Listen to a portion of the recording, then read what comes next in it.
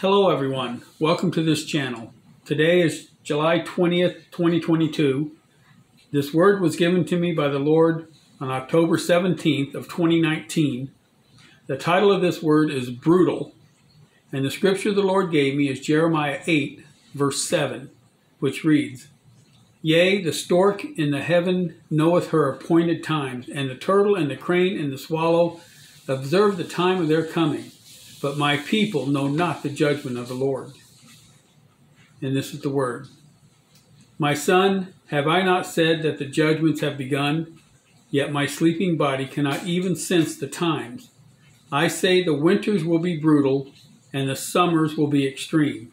Tell my body to get used to those two words as they will be used by all, brutal and extreme.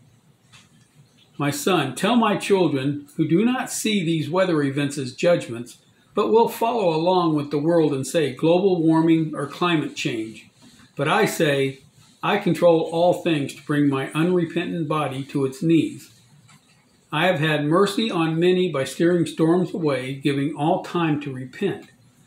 But prepare now, for brutal and extreme will be commonplace. Brutal winter storms, extreme summer heat. Please see the word three times hotter. Brutal and extreme wars will continue to grow worse. Brutal and extreme political battles will continue and grow worse. However, brutal and extreme will not be used to describe my church. It will be called sinful and weak. People will leave the church because of offense.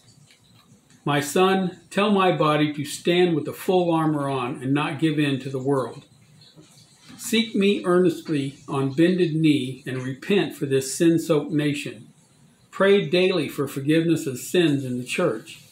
Pray for the power of the Holy Spirit to indwell the people and be prepared for the big event. I am moving my remnant into place to be ready to work the harvest fields. I am coming soon to raise up my body to walk in the power greater than the first. The last shall be greater than the first, and walk in a newness unknown to this generation.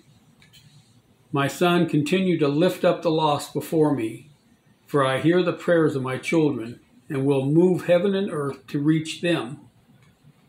My spirit will flow around the earth unlike any time throughout history. The blood from Calvary will flood the world one last great time. Then I will return to gather my bride. Prepare, for I am coming soon. Amen.